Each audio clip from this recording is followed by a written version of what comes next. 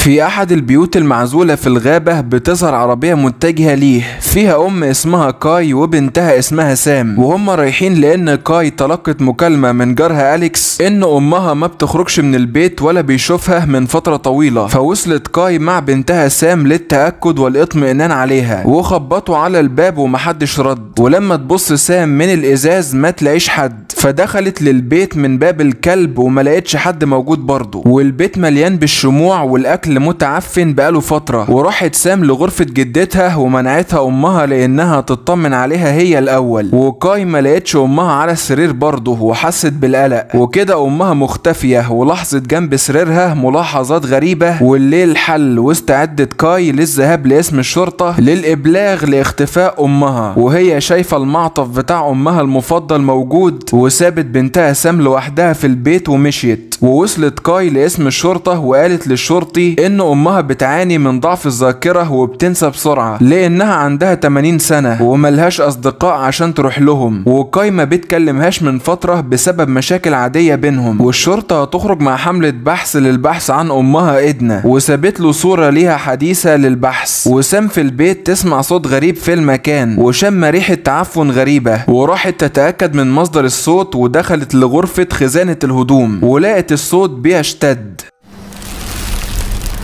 ولقت في المكان آثار تعفن سودا وهي سبب الريحة الوحشة. والأم كاي بتنظف في البيت لأنه ما تنضفش من فترة طويلة. ولاحظت الأم إن أمها إدنة كانت ما زالت بتحط أكل لكلبها اللي مات بسبب ذاكرتها الضعيفة. وكاي علاقتها مش بس بأمها وحشة لا دي كمان علاقتها متوترة مع بنتها سام بسبب انشغال كاي المستمر في شغلها. وهي نايمة بالليل شافت نور مضيء تحت البيت وسمعت أصوات غريبة ومش شايفة حد موجود. وفجأة تلاقي النور فصل لوحده. وقلقت جدا. حتى تاني يوم في حملة البحث عن أمها إدنا في الغابة ما لقوهاش خالص. وكده هيعيدوا البحث من تاني بكرة. وكلهم خايفين عليها. وكاي على الأقل مبسوطة إن بنتها سام معاها. وهي بتنظف لحظة مادة لزجة غريبة على السجادة. وحنت لأمها اللي ما شافتهاش من فترة. وأمها كانت عاملة قفال كتيرة في البيت بأي أدوات موجودة بسبب اعتقادها بوجود كيان غامض هيقتحم عليها البيت ويقتلها. وسام قاعدة بره البيت تسمع حركة من الغابة وتلاقيه ابن جار جدتها واسمه جيمي اللي بيحذرها من البيت وجدتها لأنها خطيرة وشريرة. حتى أبوه منعه من التعامل معاها أو الدخول لبيتها. حتى لما سام عرضت عليه يدخل للبيت رفض بسبب خوفه وهو دلوقتي مضطر إنه يمشي. ولما دخلت سام للبيت تسأل أمها عن الأقفال الكتيرة فتقول لها إن جدتها هي ما صدقتهاش بخصوص الراجل الغامض اللي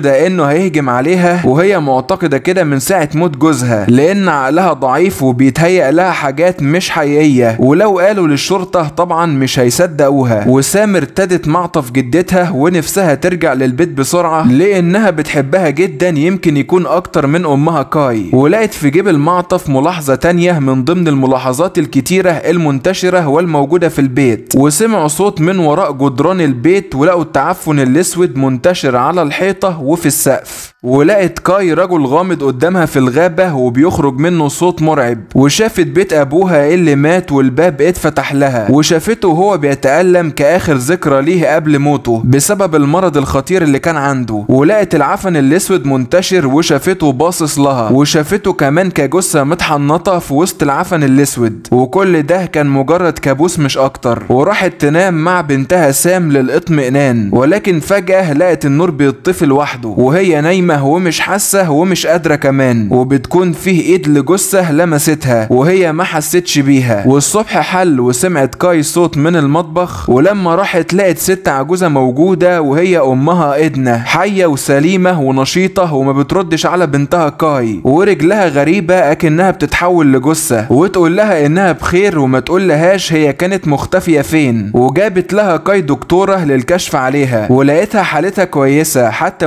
مشكلة ذاكرتها الضعيفة اتعالجت لوحدها وفاكرة كل حاجة بالضبط وهي مش محتاجة دكتور. وبنتها بس قلقانة عليها بزيادة مش أكتر. بس الدكتورة لاحظت علامة سودة غريبة على جسم إدنا وتطمنها وتقول لها إنها مجرد خبطة مش أكتر. ولحد دلوقتي إدنا ما قالتش ليهم هي كانت مختفية فين. وبتتهرب من الأسئلة وبتغير المواضيع ومركزة على شموعها وحاسة سام بالقلق عليها. ولاحظت كاي وجود دم على ملابس أمها وراحت تواجهها عليها بيها وتسألها عن الملاحظات المنتشرة في البيت ولكنها ما تردش عليها وتقول لها إن ده بيتها وهي حرة والملاحظات دي ممكن تعتبرها إنها جزء من ديكور البيت. ولقت ايدنا إن العلامة السوداء دي بدأت تكبر وتنتشر في جسمها كله ولما جات لها حفيدتها سام تديها خاتم جوازها بجدها كذكرى ليها وأمها كانت لابساه من قبلها والعيلة بتتناقله من جيل لجيل وفرحة سام. وكاي بتشتغل تلاقي بنتها سام جات لها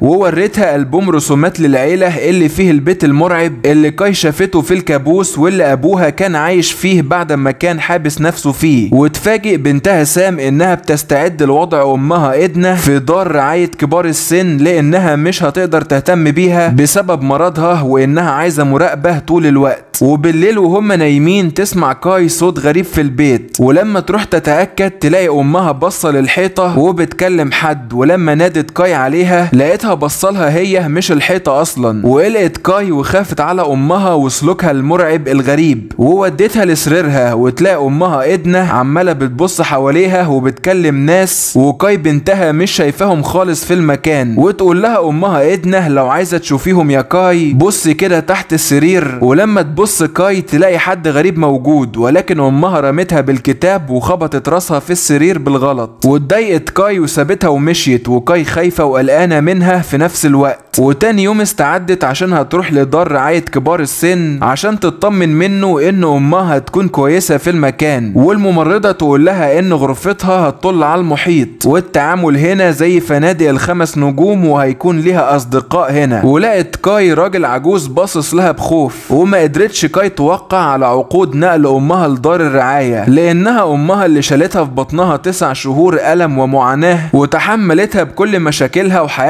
لما كانت صغيرة ولما كبرت كاي دلوقتي هي ما بقتش قادرة تتحمل أمها المريضة الوحيدة وهي خلاص في آخر أيامها. وحاسة بالندم والحزن واتضايقت من نفسها جدا. وسام رجعت للبيت من شغلها ولقت جدتها بترقص وفرحانة. وفرحت لها سام وتقول لها تيجي ترقص معاها. ولكنها نادتها باسم تاني مش اسمها. وتقول لها سام إنها هتدور على شغل قريب من هنا وهتعيش معاها في البيت عشان ترعاها بدل أمها اللي هتوديها دار مسنين. ولما شافت جدتها الخاتم اللي هو ادته لها في ايدها اتهمتها بسرقته ونسيت إنها هي اللي ادته لها بكامل إرادتها وهجمت على سام عشان الخاتم وسام سابت لها الخاتم. والملاحظات منتشرة في البيت وسام مستغربة منها. ومن جدتها اللي أصابتها بسبب الخاتم اللي هي بكامل إرادتها ادته لها أصلا. وحست بوجود حد غريب مراقبها على باب الحمام. وافتكرته جدتها أو أمها ولما نادت ما لقتش رد. والشخص ده سابها ومشي وهي اترعبت منه. وسام مراقبة جدتها وبتفكر في كلام جيمي لما قال لها إنها شريرة. والخاتم في إيدها وبتنحت في الشموع. ولقيتها كاي رامية ورق تفوقها الدراسي زمان في القمامة وكمان تلاقيها عارفة إنها كانت في زيارة مدينة ميلبورن عشان تشوف دار رعاية كبار السن وتقول لها محدش هيخرجها من بيتها. والعفن الأسود بدأ ينتشر في البيت وفيه راجل مراقبهم. وسمعت سام صوت بره البيت وما لقيتش حد موجود. ولاحظت العفن الأسود على الباب اللي شباكه هو هو نفس شباك بيت الجد اللي في ظهر البيت في نفس المكان. والنور قطع وراحت سام تطمن على جدتها وتلاقيها على ضوء الشموع بتكلم حد في المراية وتقول لها الجدة إدنا على الأرواح والكيانات الغامضة اللي هي بتشوفهم وهم كمان هياخدوها للعالم بتاعهم. وتقول لها إنها خلاص قربت تنتقل ليهم وهتسيب العالم الوحيد ده. وسابتها ومشيت وقفلت سام عليها الباب زي ما هي طلبت منها. وهم نايمين بالليل سمعت سام صوت غريب في المكان. ولما راحت تتأكد تلاقي إن مصدر الصوت هو من غسالة الهدوم. وحد شغلها ولما طفتها سام لقت الغسالة اشتغلت تاني لوحدها.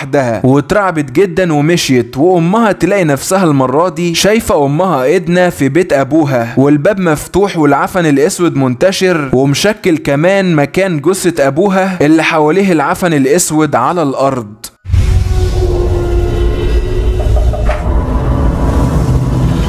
والشباك بتاع بيت أبوها والشباك بتاع بيت أمها دلوقتي العفن الأسود انتشر عليه. ولكن كل ده يا صديقي كان مجرد كابوس ودي رؤية إن البيتين دول العفن الأسود هينتشر فيهم. وسمعت كاي صوت من الحمام ولما تروح تتأكد ما تلاقيش حد والأصوات المرعبة ما زالت هي سمعاها. والصبح حل ولقت سام جدتها بتكلم نفسها وبتقول إن سام وأمها كاي مش واقعيين وهم أشرار أصلا ومتخفيين وعايزين يخرجوها من البيت ويأذوها ويورثوه. وهي مش هتسمح لهم بكده ولقيتها سام إنها بتحفر في الشموع بالسكينة وكمان أصابت نفسها وما قدرتش سام تنقذها وجدتها هددتها بالسكينة وطردتها بره البيت وخافت منها. فراحت سام لبيت جارهم والد جيمي واسمه أليكس وتسأله عن سبب أمره لجيمي بالابتعاد عن جدتها إدنا فيقول لها في مرة لما كانوا بيلعبوا مع بعض جيمي استخبى منها في غرفة دولاب هدومها ولكنها قفلت عليه وحبسته لفترة طويلة. وهو لما كان بيدور عليه سمع صوته وهو بيصرخ محبوس عندها. وساعتها هي قالت له مفيش حد هنا. ولكنه طلع وأنقذه وإدنا شريرة وأمره يبعد عنها خالص. وكاي في البيت تلاقي أمها إدنا معاها ألبوم صور العيلة ورايحة للغابة فراحت وراها تطمن. ولقيتها بتاكل في الصور بحجة إنها تحميها من الأرواح الشريرة. وراحت كاي عليها وخدت منها الصورة بالعافية. ولقت على الصورة اللي كانت في فمها سائل أسود شبه العفن اللي هي وسام شافوه. وتتبعت كاي أمها من تاني ولقيتها بتقول لها هي بتخسر نفسها خلاص ومش هتسمح للأرواح الشريرة إنها تسرق ذكرياتها هي كمان ودفنت ألبوم الصور. وكانت بتتمنى إنها تموت أحسن من إنها تنتقل مع الأرواح الشريرة دول إلى عالمهم المرعب مع جوزها وهم أصلا اللي قتلوه. وزعلت كاي عليها جدا وعرفت إن حالتها صعبة جدا. وتحضنها وتقول لها هي خلاص هتفضل معاها طول الوقت وهتنقلها لبيتها في المدينة ومش هتنقلها لدار الرعاية بتاع كبار السن. وأمها حزينة جدا وفاقدة للأمل وحاسة إن نهايتها خلاص قربت ومحدش هيقدر يساعدها. وسام راحت لغرفة خزانة الدولاب اللي جدتها حبست فيها جيمي. ولقت آثار خربشة منه على الباب لما كان بيستنجد بأي حد ينقذه. وسمعت صوت في المكان وشغلت الكشاف ولقت غرفة وممرات موجودة ورا جدران المكان ده. وكمان لقت ملاحظات موجودة والعفن الأسود كمان منتشر. ولكن فجأة تلاقي نفسها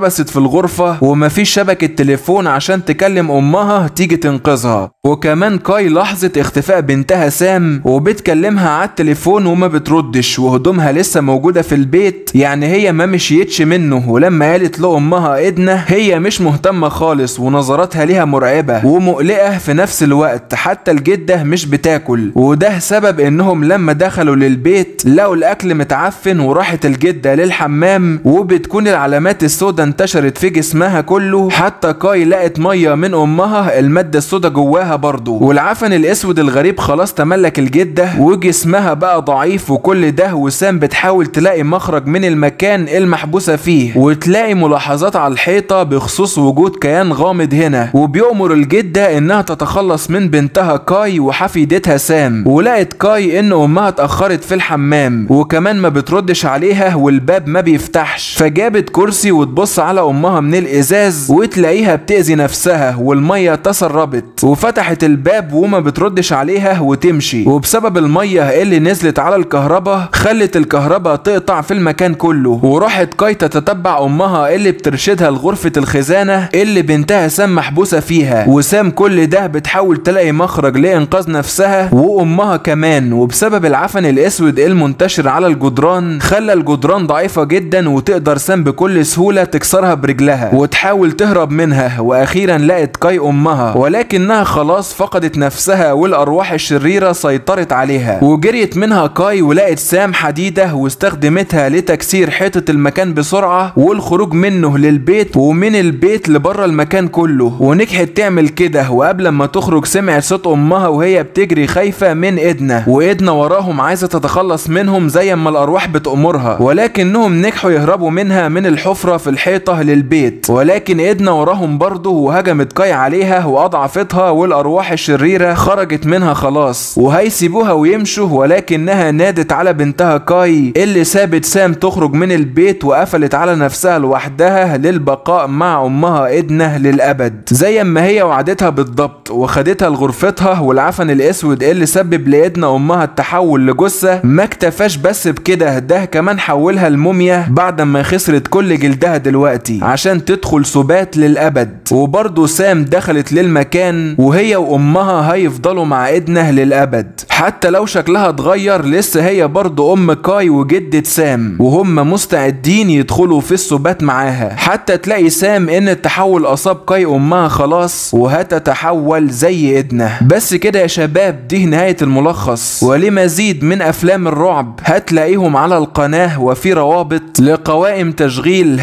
لك في الوصف تحت الفيديو.